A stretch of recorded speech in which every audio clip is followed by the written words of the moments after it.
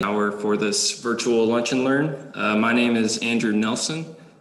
I'm an education, education coordinator with Trees Atlanta. Uh, before we get started, I'd like to make sure that everyone ha has had a chance to answer the questions in this poll.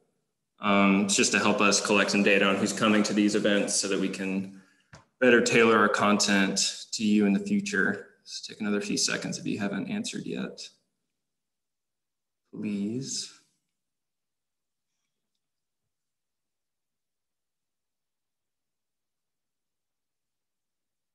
Hmm. I'll let you submit.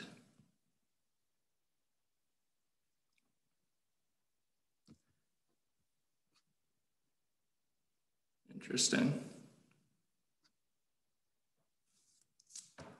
I've got 65% of people submitting. Okay. Looks like the submit button isn't working. Um, we'll just cut it there. Um, if this is your first time at a Trees Atlanta event, can you just share that in the chat? Uh, if not, I'll assume that everyone else has been to an event before and I'll calculate the data later. Cool. All right. All right, I'm gonna end the polling. Thank you very much. Okay, so if this happens to be your first event with Trees Atlanta, uh, I can tell you a little bit about us. I'm gonna pull up a quick slideshow.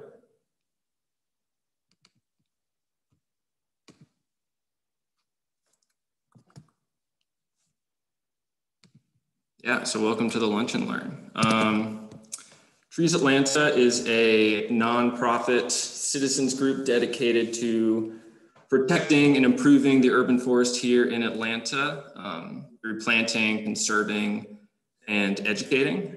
Um, some pictures here of us doing some of our various programming. Um, we've been around since 1985 and to date, we've uh, planted over 140,000 trees in the metro area and counting. Um, but like the rest of the world, we've had to make a lot of adjustments to our work um, in the last year, but we do actually have a lot of exciting events um, to offer you in the near future. Um, so if you missed a slideshow that was playing before we started, here's the list again uh, coming up in the near next month or so. Some things that we've got going on. Um, we've got planting projects every Saturday. Sorry, it's on auto scroll, so I'll keep going back so you can look at it. Um, and then a lot of education events tailored to different audiences coming up as well, both virtual and in person. Um, and then, yeah, Georgia Arbor Day is coming up. And so we're going to have a, about a week's worth of events to celebrate that. You can see the list here of what we're going to have going on. Um, yeah, so be sure to check out all those events going on throughout that week, including a, a memorial planting for John Lewis in Freedom Park that weekend. Um, so that's not the full list though. There are many others so check out all our events on the web, on our website, www.treesatlanta.org. And we'll, uh, we'll see you online or out there in the world somewhere. All right, so without further ado, I'm going to play the main event of today's little production. Um, this is a pre-recorded video on some common invasive species that we have here in Atlanta. It features Dana Russell, a member of our forest restoration team, who will be helping us explore this topic. And then she's on with us and she'll be able to, um, she'll host a, a live Q&A um, after the showing. So if you think of any questions um, as they come to you, just go ahead and type them in the chat, or you can use the QA feature if you want. I'll be able to, to monitor both. And then after the video, we'll get to as many as we can in the time that we have. Uh, any questions so far? Let me check the chat.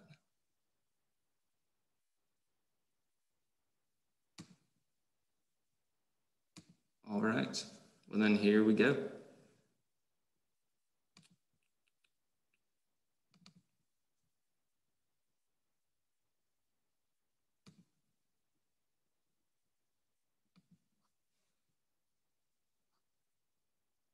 How you doing today?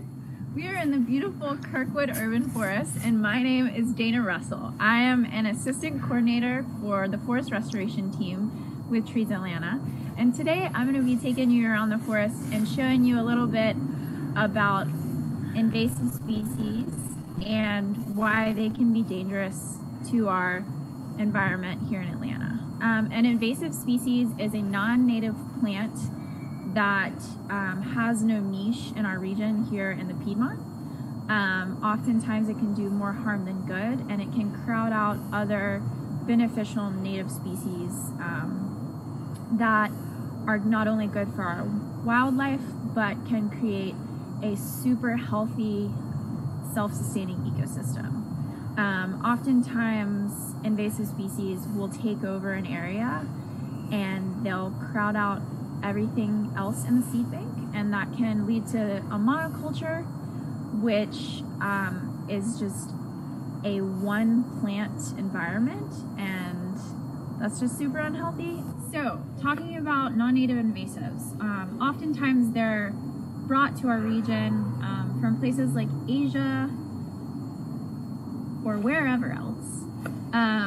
For ornamental purposes because they look pretty or because they're super easy to maintain and you don't have to water them a lot or put really any effort into it, um, which makes them appealing for homeowners and landscapers. And um, oftentimes they're sold at places like, you know, Lowe's, Ace, Home Depot, wherever. Um, so, that being said, today we're going to learn a little bit about how to effectively remove some specific non-native invasives that we frequently see and how to keep those invasives away. And I'll even give you some pointers on a native or two to replace it with. So, that being said, let's get rid of these. Okay, here we have English ivy, and when we're IDing English ivy, it's super common, so it's pretty easy. You're gonna see it a lot. Um, it's typically pretty dark green with like a glossy finish. Um, got light green veins. Um, it's lobbed typically with three points, um, sometimes five. Um, it's gonna have a light brownish tan bark. Um, newer growth is gonna be kind of red colored on the bark. Um, and when the vines get really mature and large, they're gonna be super hairy. Um, but it's to be still have this light coloring. Um, another thing that can kind of resemble it is poison ivy, but poison ivy is always to be a super dark brown. Um, so if you're ever seeing a giant hairy vine on a tree that you think might be English ivy, try to remember English ivy is the light colored, poison ivy is the dark colored, um, and English ivy won't attack your skin. So that's that on that. Um, next step is to remove it from the tree. So here we have English ivy. Um, as you can guess by its name, it's native to England and it was brought here um, for mainly ornamental purposes. Um, it's a great privacy shield. Um, still super, super frequently planted by landscapers and homeowners. But as you can see here, it's a huge issue for our forests and our trees. Um, if you look around, the forest floor is covered in ivy, and what that's doing is it's, it's occupying all of the seed bank so that it's super difficult for our native trees and perennials and everything else to grow and create a healthy, sustainable forest. Um, and the issue with trees is that it latches on and girdles the tree um, and will completely cover the tree and not only be an additional weight on the tree, but it can eventually cover its foliage so the tree can't provide food for itself. Um, also, with that additional weight, any kind of serious rainstorm, windstorm, ice storm is going to put the tree at risk of falling over and dying. Um, so the best way to remove English ivy is going to be to cut it off from its nutrient source. Um, so what we want to do is you want to cut high and cut low. Um, you can do it at head height or chest height, and then you want to completely remove from there to the ground and create a buffer zone. Um, the best way to do that is to cut and pull. Um, but if you can't completely pull the ivy from the ground, you can just cut it at the source. Um, and yeah, that's a great way to save the tree. And obviously, you know, ivy is a super aggressive vine, so you'll have to keep monitoring the buffer zone that you create to recut it. Um, but eventually it will die. Um, and once you've created that buffer zone too, it's a lot easier to pull up and remove the root system from ground so you can ensure that it's gone for good. All right, so when we are removing English ivy, we want to cut it high and low and again create that buffer zone to where we can monitor its regrowth so we can continue to cut it back and save our precious trees. Okay, so making that first high cut, oftentimes you can cut it off and kind of peel it back off the tree.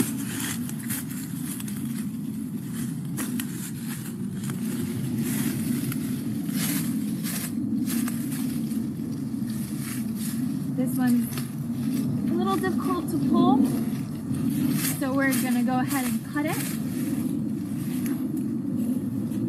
And you wanna cut it again as low as you can, just like any anything else you're removing. You wanna eliminate that surface area for regrowth, to prevent regrowth.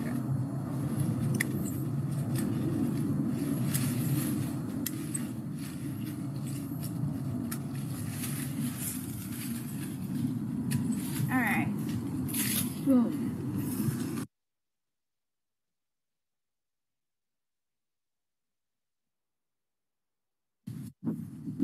See these guys? Pretty easy to uproot, pretty easy to pull. Um, this is a good sign. You know you're removing the source and killing it. And don't forget, create that buffer zone. Um, if you are hand pulling the ivy, a hardwick is a great tool. Um, it allows you to really clear the base of the tree, and also it's a good way to uproot the vines. Um, so you can get your hands on them and all right, here we have here the finished product. We have got our gap from head to foot. We have cleared the base of the tree and we have our beautiful buffer zone so we can monitor the regrowth and continue to pull back that ivy and cut it, whatever we need to do. Um, again, if you have a super thick vine, use your saw. Don't be afraid to get in there. Um, English ivy is relatively easy to manage. You just have to monitor it. Um, it is a tree killer. That and kudzu are probably the number two, one and two tree killers in Atlanta.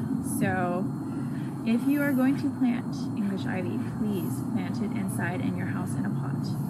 It's a great air filtering plant and it's kind of cute, but just not on my trees, not on our trees. Here we have leather leaf mahonia. Um, leather leaf mahonia is native to Asia. Um, as you can see, it's super funky looking, um, which makes it another commonly planted ornamental. Um, the first thing that you want to do before you remove it is take these seeds out. Um, a simple snip.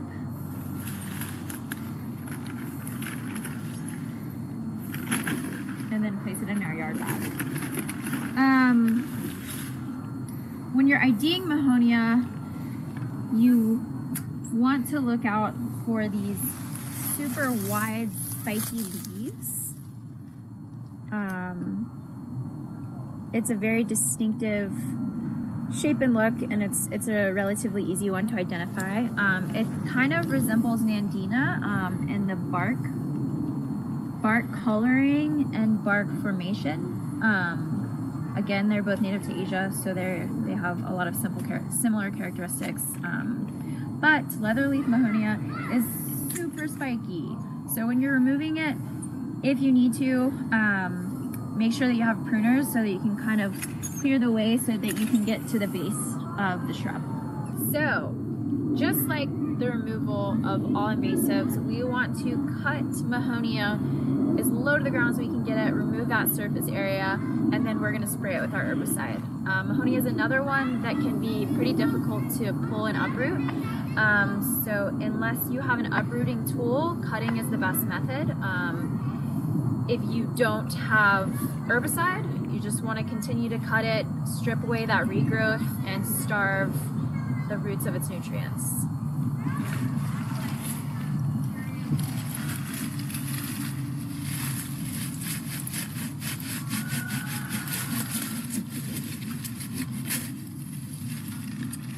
Mahonia is super funky yellow color. Um, Nandina can have a similar color as well.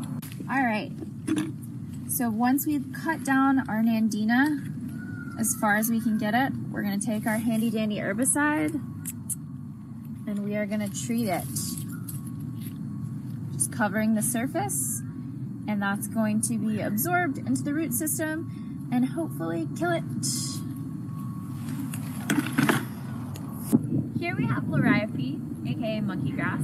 Um, super, super common, found in homes, found in forests, um, but it is a forest floor pest. Um, as you can see, it grows wide um, and it takes up a lot of the space on the forest floor um, that would otherwise be open for more beneficial native plants to grow. Um, and in addition to that, it produces berries that are pretty attractive for birds and other wildlife to, to eat and munch on. Um, and so they eat it and they walk around the forest and then they do their business and then the seed germinates and the problem is spread throughout our forest floor. So before you remove the liriope, you want to take your pruners you want to snip off any berries that it may have And then You're gonna dispose of it in our handy dandy yard bag. A great tool to use to remove Liriope is this handy dandy little twist tiller. Um, it can be found at a Home Depot, Lowe's, or any local um, supply store. Um, if you don't have one of these, you can hand pull it. It's just a little more tedious on your back. Um, so yeah, check out Home Depot. Um, but anyways, we take the tool and we just simply dig and twist.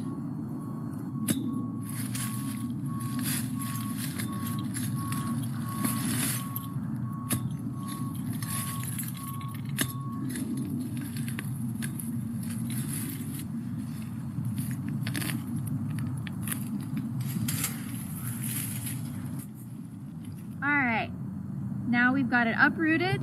Um, the last thing we want to do is we want to put it in our handy dandy yard bag again. Um, these roots are constantly searching for moisture once you've taken them out of the ground. So if you just leave it on the ground, it can reroot and all your hard work was done for nothing.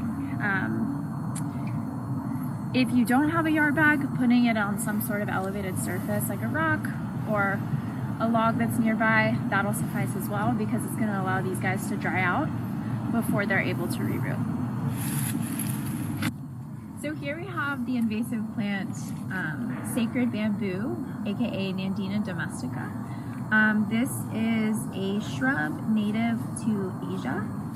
Um, it's really popular um, being planted by homeowners and landscapers for its ornamental purposes. As you can see, in the fall it kind of gets this reddish color um, and people think it's very visually appealing. One reason Nandina is popular amongst homeowners and landscapers is for its bright red berries. but these berries are extremely toxic to birds and can cause cyanide poisoning. Um, what that does is it creates hemorrhaging within the bird's body and will swiftly die. Um, so, that is just one reason to take this out of your yard, tell your local Pike or Lowe's or whatever it is to not sell it, and replace it with a native tree or shrub like Devil's Walking Stick, for example, which also produces berries um, that our wildlife love and is nutritious and won't kill them. So when you're IDing Nandina, um, you want to look for this tripinnate compound leaf. Um, as you can see, it's got a red coloring. Um, this often occurs in the fall and in the winter, as well as along the stem. So the first thing that you want to do when you're removing Nandina is you want to cut the berries. Um, this is to prevent any wildlife from eating it off the forest floor and also to prevent it from germinating and creating a whole new shrub. Um, you want to dispose of it in some kind of bucket or a yard bag like this. Boom, and now we're good to go. So when you're removing Nandina, you want to take your saw and you want to cut the base of the shrub as low to the ground as you can get it. Um, this is so it has the least amount of surface area possible to prevent regrowth after we've treated it with our herbicide.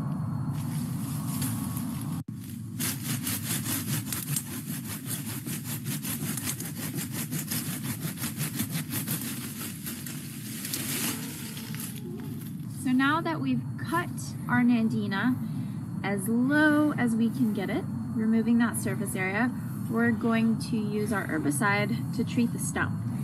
If you don't have an herbicide to treat the stump, you can keep cutting it down and removing any regrowth that occurs. This will starve the root system and eventually it will die. Um, another great uh, alternative is using an uprooter to completely remove it from the ground and get the entire root system.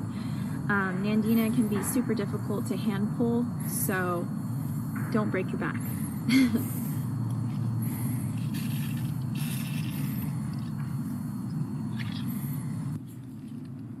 Here we have another pesky invasive silverthorn, aka autumn olive.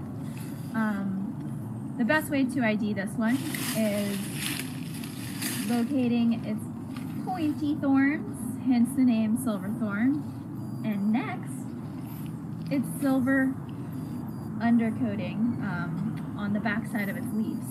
It's kind of whitish, kind of silverish, but very easy to spot. Um, as you can see here, it's like growing all kinds of crazy. It's kind of like a tree. It's kind of like a shrub. Um, but the way that it's spreading out, not only is it, you know, pushing into the nearby trees, it's going to shade out everything that's on the ground floor um, and take up that sunlight and just be a little pest. So, the best way to remove silverthorn is first to limb it up. Um, you want to make sure that you're not going to get stabbed. So, you want to take your pruners, make some cuts.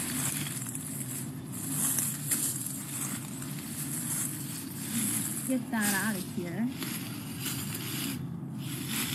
Keep cutting until you're able to kind of clear a pathway to the base of the tree. Silverthorn is another one. Not easy to uproot, um, not only because of its thorns, just because it has a little bit of a deeper root system than something like privet or bush honeysuckle um, that has a super shallow and wide root system. Um, so yeah, you just want to clear out your space so you can get to the base of that tree. And then from there, you can make um, a cut with your saw. And if you have an herbicide, you want to treat the stump.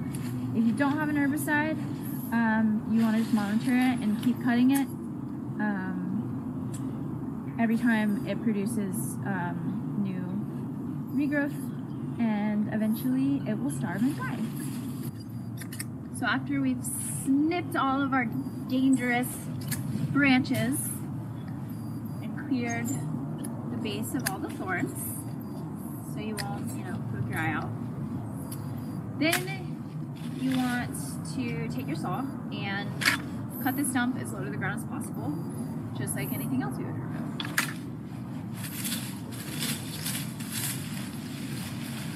When you're cutting um, an invasive woody, um, just like really cutting anything else, it's pretty pretty obvious, but you want to cut in the direction that the tree or shrub is leaning. Um, otherwise, your saw is going to get pinched and you're going to either get stuck or it's just going to be a pain. Um, so this guy is leaning pretty far forward, so I'm going to cut from the back.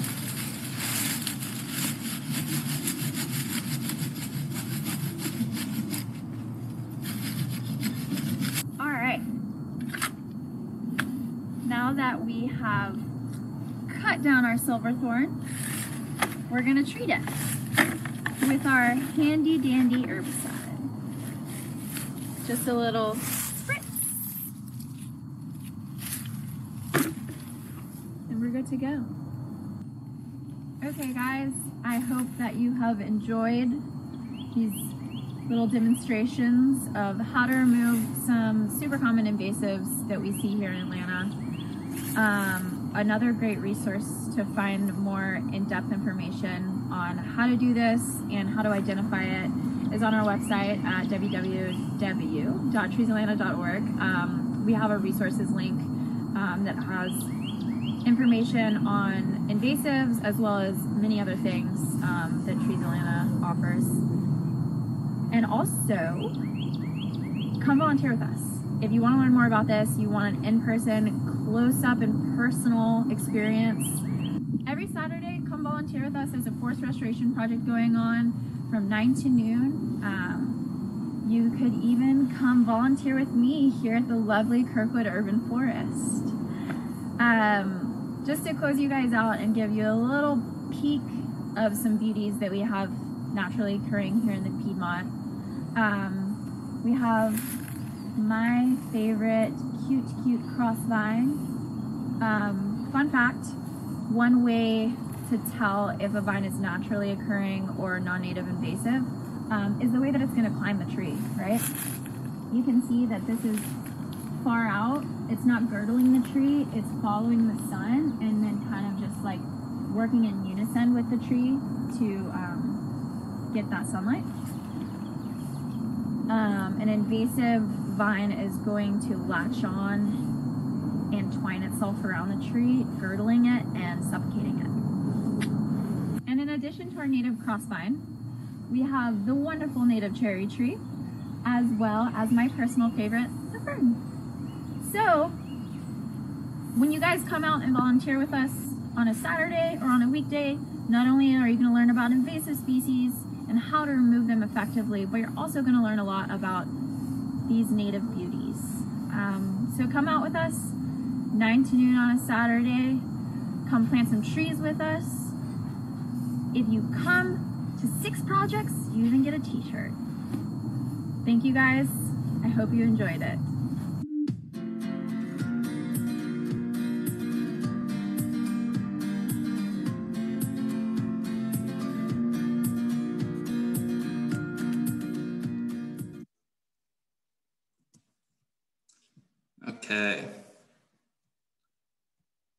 Everybody. Um, I was told that there was a little bit of a lag there between the audio and the video, so apologies if um, that was an issue for you. But there we have it. Um, yeah. Thank you for thank you to Dana for being featured and being the star of that little film. And she's on here with us now for a Q&A if anybody has any questions. Hey y'all. Hey Dana, how's it going? Pretty good. Hope y'all liked my girl versus wild out there. yeah. Well, thank you, Alex.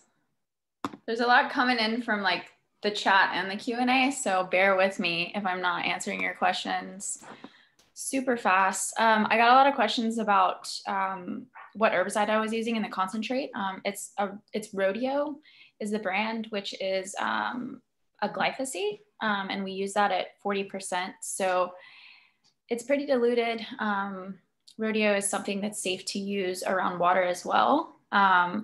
so yeah, we oftentimes use chemicals in situations where, you know, it's too hard to remove it without, or um, if we don't want to disturb, you know, the seed bank around it and create more erosion, um, it's always a good, good option. Japanese chaff flower suggestions I see on here. Um, that's a bad one.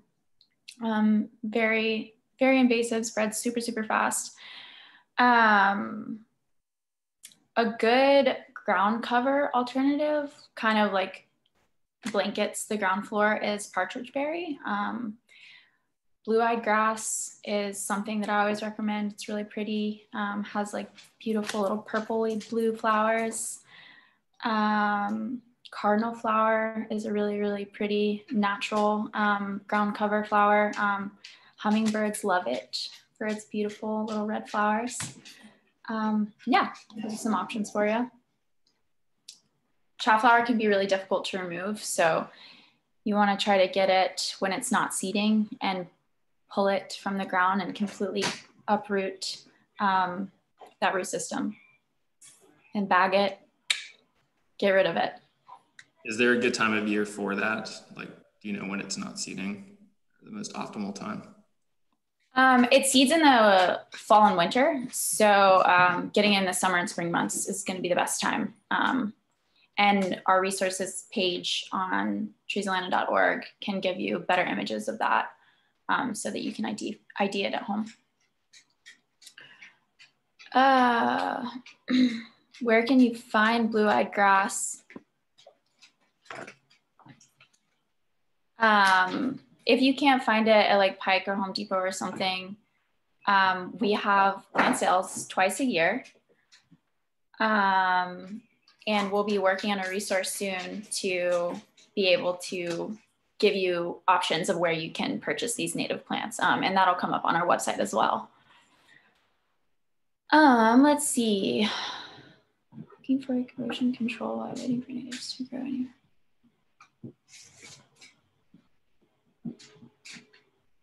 Um, erosion control while waiting for natives to grow. Um, I mean, something that's you know used to.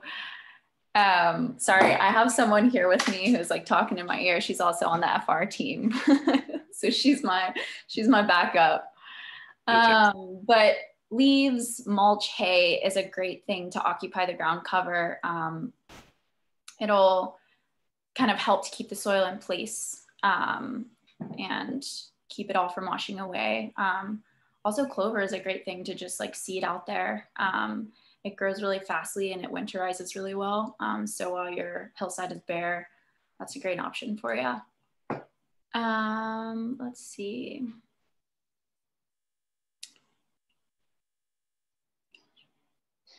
Um, speaking to Trees Atlanta expanding focus on invasive removal, I've heard y'all were starting to take this on even more. Um, yeah, we have a lot of different ideas in the works for how we can um, better interact with removing invasives and in our communities and that being like people's yards in addition to our parks. Um, but you know, we're constantly getting new contracts and um, trying to expand our contracts with the city of Atlanta to work and um, yeah, as many parks as possible. Um, also leads from you know neighbors and people from the community contacting us is super helpful. Um, we work in over like I think 30 different parks now, um, so we're getting there. As we remove non-native shrubs, how do we not end up depriving birds of habitat? I see birds living in privet all the time and worry about destroying their safe space? Great question. Um, so the the nutrients that birds get from a privet berry is like it's like fast food, right? So if they're getting nutrients from a native shrub like beautyberry, for example, which has like bright pink berries, um, they are it that is grown to feed the native birds in the environment. Um, privet is just like a super awful sort resource um, of nutrients for the birds. Um, also, you know, bugs on the ground. Those birds, if you're removing um, a privet, for example, like they're going to find the bugs in place on the ground floor to to make up for that. um, and just replacing what you're removing with something that you know is gonna is gonna fruit, right? So um, spice bush, beautyberry, um, arrowwood, elderberry. You know, we have so many great natives that provide super nutritious fruit for our bird population here in Atlanta. So just doing your research to make sure that you know um, if you're removing one that you're replacing it with something that's equally, if not more nutritious for the bird. Um, and again, you can find that resource on our website at Trees Atlanta. Can you substitute jewelweed when when pulling out chaff flower? Um, jewelweed rocks. It's one of my favorite. Um, hummingbirds also love jewelweed. Um, but jewelweed typically grows in super moist soils. Um, chaff flower, um, it being an aggressive, you know, non-native invasive, there's not a lot to um, harm it. So like it, it can really lash on anywhere. Um, so it, de- it, it, depends on where you are removing that chaff flower, if that jewelweed will be successful. Um, so yeah, just knowing the land and researching like your options. Where can we find these ground covers you're suggesting? Um, again, if you, I can, we have lists um, on our website and like, I'm happy to send Andrew uh, the information that I've researched um, that he can provide you guys through email um, about good alternatives. Um, but again, like just looking at your no local nurseries um, and yeah, hopefully our resource to um, direct you guys where to buy those will be up soon so that you can reference that. Uh, when pulling the IVF tree, can you damage the tree if the bark pulls off? Yes. Um, I mean, when you're removing it from head or chest height down to the base, um, you know, that's only a small portion of the tree. So it's better to remove it and maybe harm a little bit of the bark than to leave it obviously. Um, but really the most damage is going to come if you try to remove those those upper um, vines.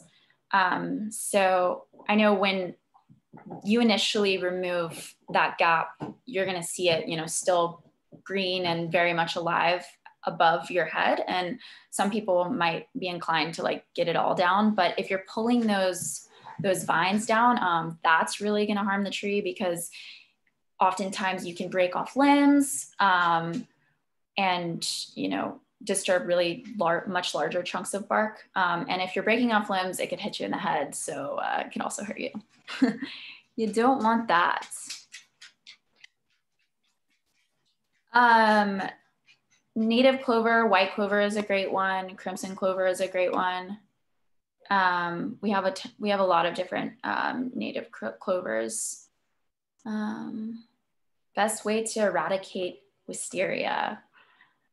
Oof. Um, wisteria and kudzu are hand in hand. You know, they're super aggressive. They create like a taproot system, um, and they spread far and wide. Um, for us, the best way to treat wisteria is through a foliar spray. Um, we work with it in like really large masses. Um, if you, you know, have no access to an herbicide, um, what I would recommend is being able to ID the vines uh, without the foliage. Um, that way in the winter, you know, you can cut all the vines off the trees and wherever it may be in your yard. Um, and you can like get a head start on it from the regrowth in the spring and summer. Um, and when you're cutting those vines, you want to make sure you're cutting it from everything that it's climbing. And also, you can dig it up. Um, it's definitely one of the more difficult methods, but it's pretty effective if you're doing it in the wintertime. Um, you can dig up that root system. That way, in the spring and the summer months, when it's regrowing, you can monitor it and continue to cut away the regrowth. Um, and it'll eventually starve it and it'll die. It'll take a long time. Uh, wisteria is very, very vicious, but eventually you'll get you'll get there.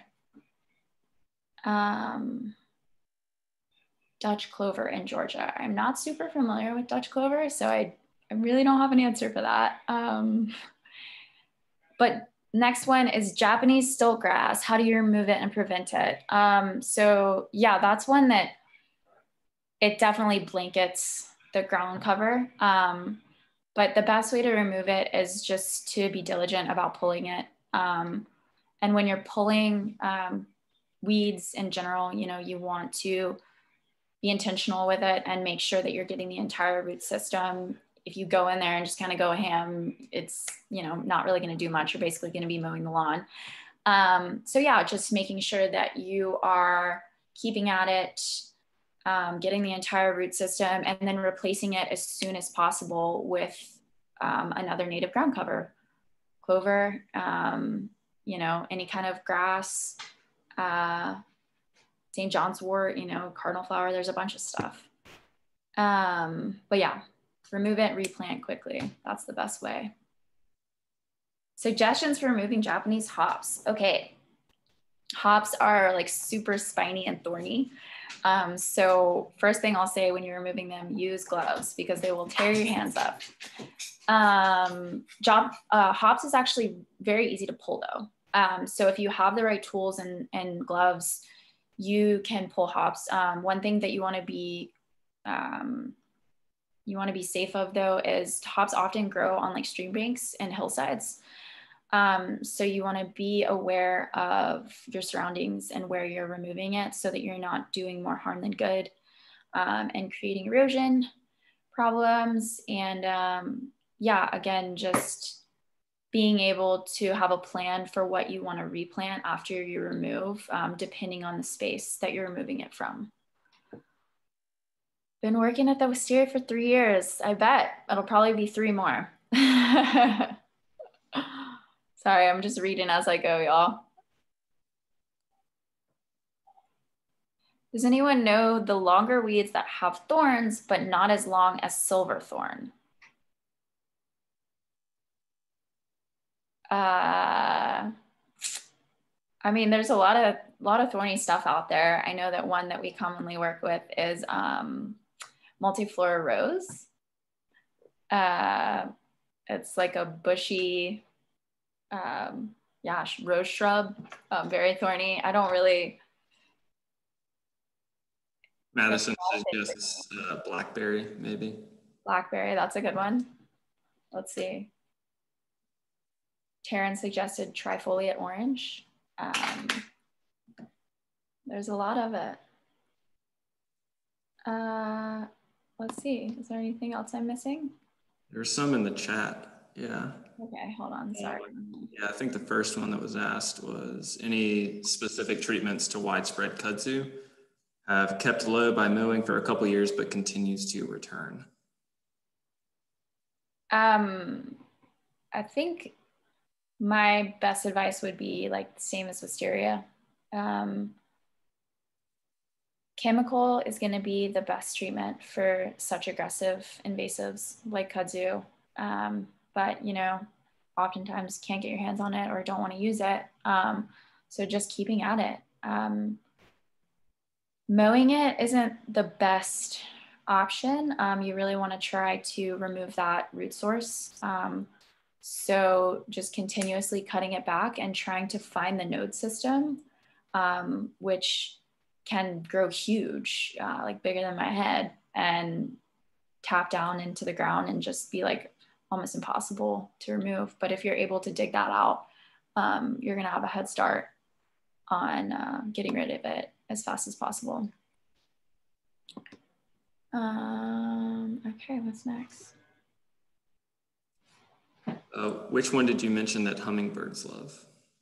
Uh, hummingbirds love cardinal flower. I think that might be the one that I mentioned. Um, but another um, native tree that hummingbirds love is red buckeye and also jewelweed. I think I mentioned that one. Yes, they're very attracted to red flowers. Um, let's see. Greg says, leave your leaves.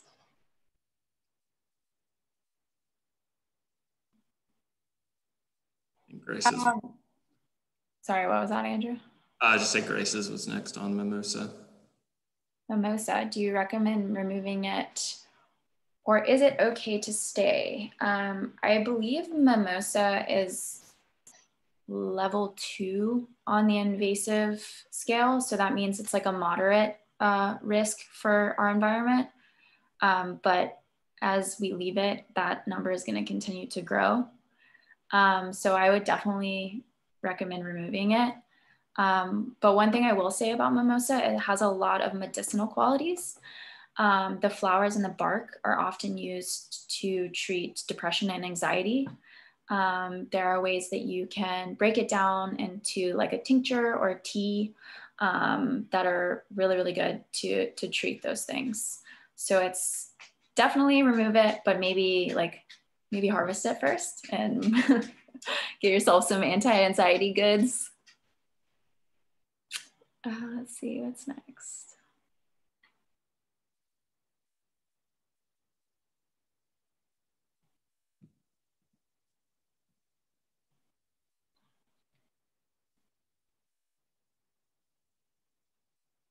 All right, Grace's question. It's a lot. Can you speak to the interim habitat accommodations for bird wildlife? When removing the invasive shrubs, is there a way to replace or substitute for the cover that is removed? Um, I think I kind of touched on this earlier, talking about the removing of the privet. Um, I think it comes down to just having a plan um, with what you're going to substitute that invasive with. Um, doing your research, knowing what, you know, birds are in the area and what those birds might be attracted to. Um, I, I, mentioned a few, um, beautyberry, beautyberry, elderberry, um, winterberry, spicebush, arrowwood. Those are all good ones. Um, also, when you're removing those um, invasives, you're creating further habitat through your brush piles. Um, you know, that's giving habitat to creatures that might be on the ground floor, like um, chipmunks and also birds for nesting. Um, and also um, planting shrubby stuff immediately after, um, that's going to be fast growing and occupy the ground cover um, to help restore um, and substitute for what you're removing.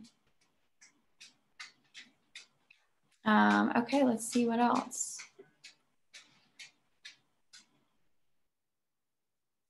Uh, Greg says mimosa, kill it. You're right, Greg. You're right. Uh, Will Hazelton wants to know if we've used vinegar as an herbicide and if we've had any luck with it. No, I haven't personally. Um, no. um, there are a bunch of wacky methods out there. I know that my mom uses like eggshells to just try, try to keep critters out of her like planters. um, but vinegar as an herbicide, I can't say that I've used it.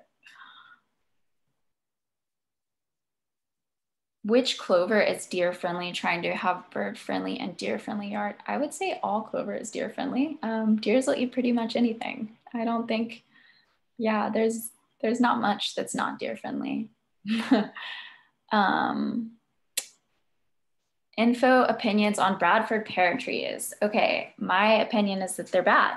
I actually had one fall in a storm in my backyard and it took down the fence. Um, luckily it was away from the house but they're just like super they, they have super poor structure. Um, they're just kind of ugly.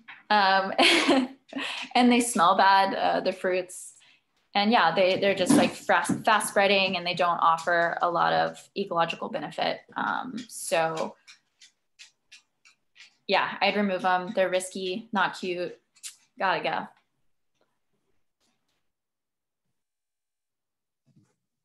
Yeah, and what Greg said, try to figure out what would specifically be growing in your ecosystem. I think that's super important for um, the removal of invasives. Always doing your research to know what you want to replant in their place and know why and how that's going to benefit um, your green space or your your home. You know, like creating a little pollinator garden in your front yard. You're going to be seeing beautiful butterflies and birds, and you know who doesn't want that in their yard.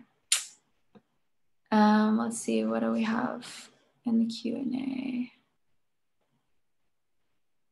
Anything else?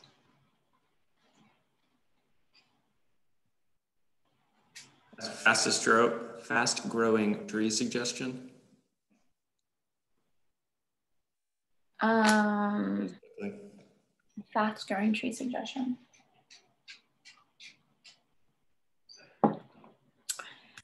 I would say a sumac's a good one. It'll shoot up. Um,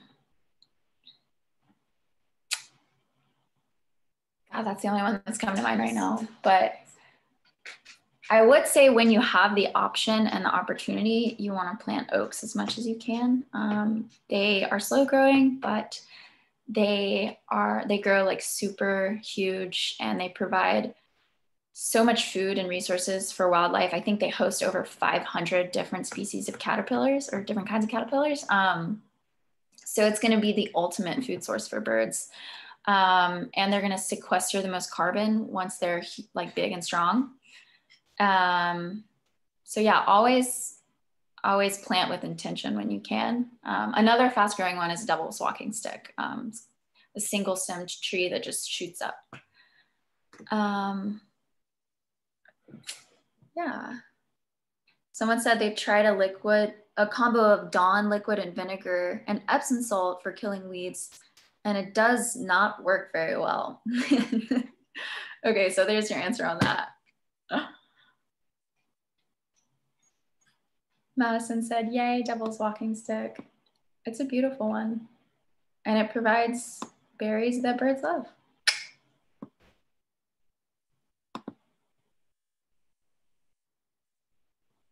And Greg added cherry, cherry bark oak, sycamore, tulip poplar, river birch, also great ones.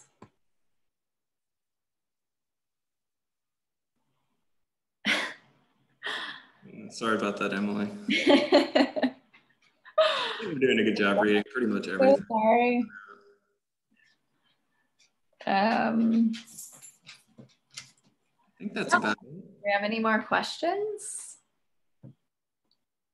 Did we touch on this one from Carolyn? I thought Dutch white clover was not native. We need a good erosion control material. Does clover grow the fastest? Um, I don't think Dutch white clover is native because I've never heard of it. Um, I mean, clover in general really isn't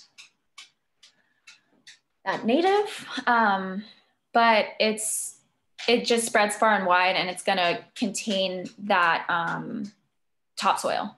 So that's why it's a good fast alternative. Um, it grows quickly, it's going to pop up. Your topsoil is going to stay in place uh, for the most part with that clover. So that's why I would recommend that.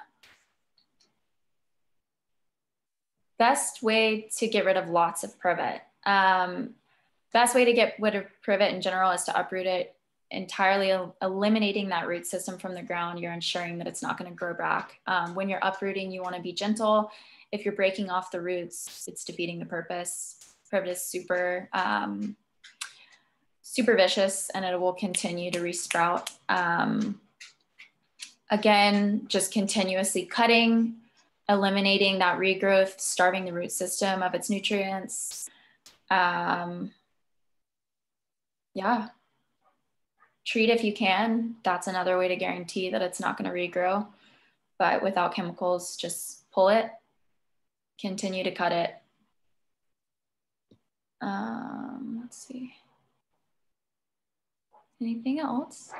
Ida asked about killing English ivy. She was late tuning in. Ida, we have a really good segment on that in our video, and this is being recorded, so I can uh, make sure that you get a copy of this recording so you can see exactly how Dana did that.